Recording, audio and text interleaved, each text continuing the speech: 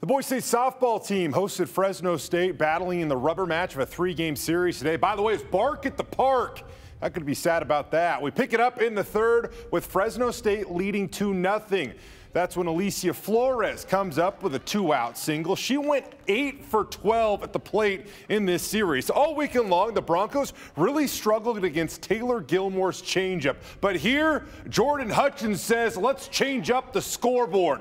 With two outs, the two-run shot makes it a 2-2 game. That, by the way, Hutchins' fifth round tripper of the season. On to the top of the fifth, Taylor Cottle would find herself in a world of trouble in the circle. The Bulldogs would load the bases with nobody out. She would battle, though. Kennedy Bunker bounces one right back to Cottle. She goes the short way to home to retire the first out of the inning. The bases stay loaded, though, on the fielder's choice. Cottle would go right after the next batter, and she gets Alyssa Ramirez swinging for out number two.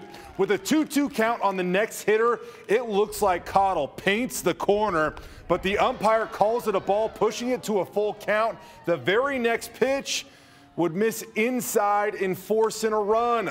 Fresno State takes a 3-2 advantage, and unfortunately the damage wasn't done. The very next batter slaps one towards short. It gets by the air plates two more Bulldogs as they go on top 5 to 2, and that was simply too much to overcome. Looking to rally back, Sydney Groves hits a hot shot up the middle in the fifth, but Emma Martinez makes a diving stop. The Bulldogs take today's game and the series three games to two.